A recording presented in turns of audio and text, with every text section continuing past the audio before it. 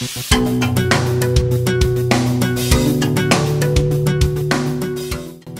peaje de, los puentes.